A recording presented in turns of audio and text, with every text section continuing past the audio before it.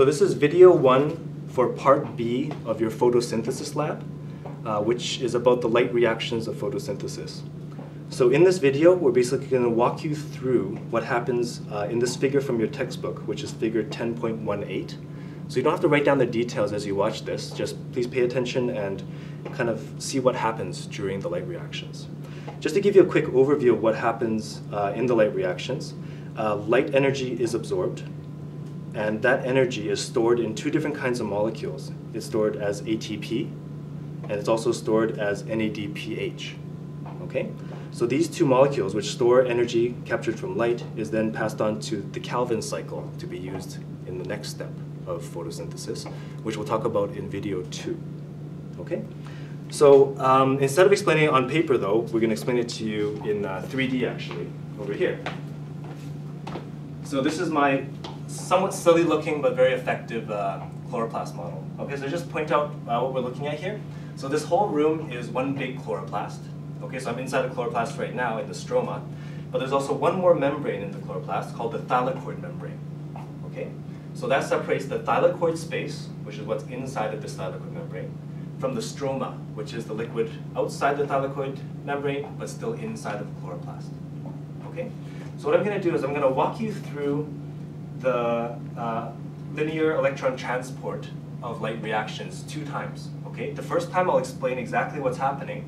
The second time, you and your team are going to say out loud what's happening instead. So you will be the commentary instead of me. Okay. Um, just one one thing I wanted to point out before we get started is these uh, red balls here are hydrogen ions. Okay, and you'll notice that right now there's the same number or same concentration of hydrogen ions outside of the thylakoid space in the stroma as inside the thylakoid space. Okay, so there's 10 hydrogen ions in the stroma, 10 hydrogen ions in the thylakoid space. All right, that's going to change as we do this. Okay, so to start off the light reactions, the first thing that happens uh, is light is captured. Okay, so this is photosystem 2, and there's many pigment molecules here that already absorb light. So when light of the correct wavelength hits one of these pigments, it causes these electrons to rise to a high energy state. Okay? Now this is quite unstable, so it's not going to stay up there for long. It's going to drop back down, releasing its energy, but then that energy can be passed on to the next pigment, and that electron goes to a high energy state. And again, as it drops, the energy is released to the next pigment, to a high energy state, and this continues until the energy is passed to the chlorophyll A molecules, okay, in uh, P680 um, reaction center complex of this photosystem. Okay, so it's a special chlorophyll A pigment molecule. So this high energy electron doesn't just drop down, instead it actually gets passed over to the primary electron acceptor. Okay, so instead of holding up here, I'm just going to use this to help hold it up here. Okay, so high energy electron got passed, oxidized away from P680 chlorophyll A to the primary electron acceptor. From here, it's going to go down the electron transport chain. But before we go down the electron transport chain, I just want to point out that since this was oxidized, is now missing an electron we need to replace that electron, otherwise this is only going to happen once or twice and that's it, there's no more electrons. Okay? So to replace that electron, we have to split water. This is where water comes into the equation. So when water is split, it becomes, there's one oxygen that got released and two hydrogen ions get released into the thylakoid space. And two electrons are also released as well. So these electrons replace the ones that were lost by this uh, process. Okay? So this high energy electron um, is going to go down the electron transport chain. As it does so, it's going to lose some of that energy, and that energy is going to be used and stored for making ATP later. So this electron is passed from the primary electron acceptor to plastoquinone, okay, one of the carriers of electron transport chain. And as the energy is released from the high energy electron, hydrogen ions are transported from the stroma into the thylakoid space. Okay? So the electron gets passed from there to the cytochrome complex, then to plastocyanin, and finally to photosystem 1, okay, where it replaces an electron that was previously lost from the P700 chlorophyll A molecules here. Okay? Um, so at this point, the electron has lost most of its energy, and so we need to excite it again using light captured by one of these accessory pigments. And again, the energy is passed from electron to electron, from pigment to pigment, until it gets to the reaction center complex, to the special chlorophyll A molecule. So this high energy electron is then passed on to the primary electron acceptor. And from here, it's going to go down to another electron carrier, to ferredoxin, which takes the electron and passes it on to NADP+. So notice at this time, we're not using up this energy. Okay, we're not doing active transfer. We're keeping this electron at a high energy state. Okay. So what NADP plus does, uh, NADP plus reductase does, is it takes NADP plus and it reduces it. Okay, it reduces it by adding electrons. So NADP plus takes two of these high energy electrons, okay, and one hydrogen ion from the stroma to form NADPH. Okay, so NADPH is a high energy electron carrier, and these high energy electrons will later in the Calvin cycle be used to make the precursors for glucose. Okay, so these electrons get put as high energy electrons into glucose. Okay, so this is one important product of the light reactions made. All right, so we're going to do this one more time, but this time I'm going to get you to explain what's happening. I'll ask a couple little questions along the way, but as I pause in each step, you as a team should be saying out loud, just yelling out loud, okay, not yelling, just saying quietly out loud to each other uh, what's happening in each step. If you need to, you can pause the video. If you can't remember, what is that thing again, what's happening, you can just pause it, talk amongst yourselves, say it out loud together, and then keep going from there. Okay, so I'll just do it one more time. Hey Kevin, I have a question. Yep. Is there a difference between a hydrogen ion and a proton? Yes, there is. So a hydrogen ion is positively charged, okay? Whereas a pro... Shit, there isn't, is there? So, Erin, who's holding the camera, just tricked me. A hydrogen ion and a proton are the same thing. If you think about it, a hydrogen, stop laughing.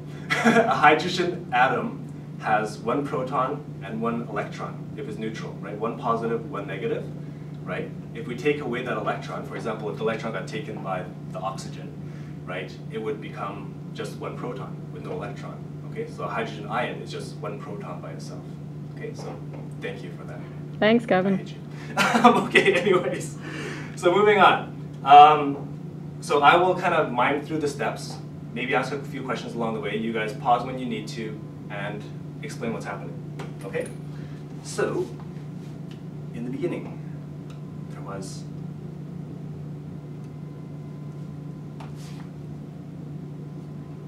Okay, so talk amongst yourselves.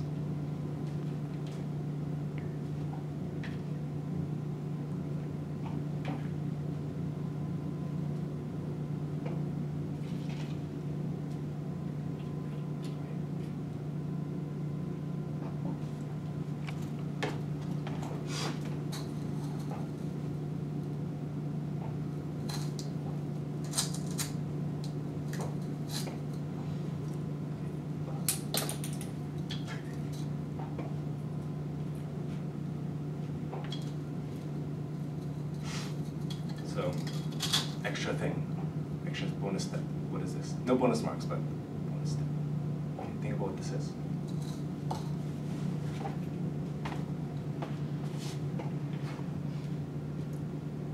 Think about what this whole thing is called and what's happening to the electron.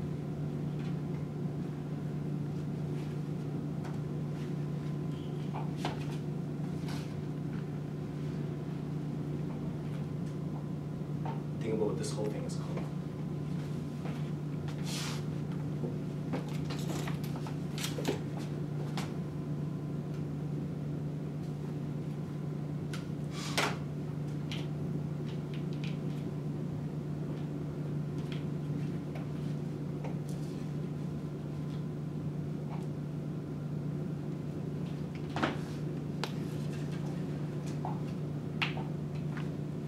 Okay, so think about what this enzyme does.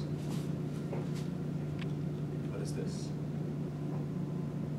And this as well, where this comes from. And where does this go next? Okay, so so far we've made two NADPH.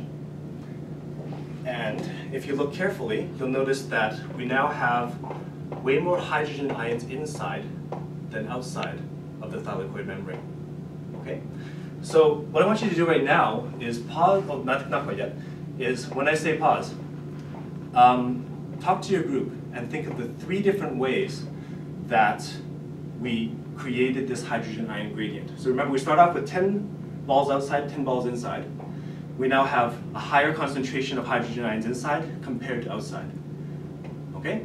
So um, there's three different ways that happened. So pause the video now, talk about it, come back.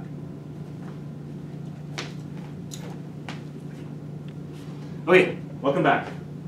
So, uh, so the three different ways that this hydrogen ion gradient was created.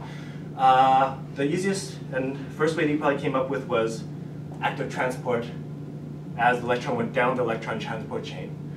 So as that energy from the electron transport chain was released, we actively transported hydrogen ions from the stroma to the thylakoid space. Right? So that obviously helps you create a difference in concentration, a concentration gradient. Uh, second way was when we split the water. So notice when we split the water to make oxygen, we released two hydrogen ions as well. Okay, so that is now found inside the thylakoid space. Again, increasing concentration inside. That's another way. Third way was over here. This one, if you guys got this, then great job, because most people don't get this, is when I made NADPH, I needed an H. So I took a hydrogen ion away from the stroma, okay, to make NADPH. So that again reduces the concentration outside relative to the inside. So now we have an even bigger difference between the inside and outside of the thylakoid membrane. All right? So this is stored energy, right? All of those steps stores energy in the form of a hydrogen ion gradient, okay? So since these hydrogen ions are all packed in here and wanting to move out, we can use that energy to make ATP, okay, the other molecule we need from the light reactions. So as these hydrogen ions diffuse out through this enzyme called ATP synthase, it takes ADP, okay, adenosine diphosphate, and adds an inorganic phosphate group to make ATP, okay? So it takes the exergonic reaction, or exergonic process of hydrogen ions moving out to fuel the endergonic process of adding the third phosphate group to ATP. So these ATP molecules, along with the NADPH that we made here, and they go to the Calvin cycle, which we'll cover in video two. Okay, so uh, take some time, discuss the questions from video one, talk about it with your TAs and your checkpoint conversation, then I'll see you in video two. Thank you. Thanks, Kevin. That was fun. Thanks, Erin.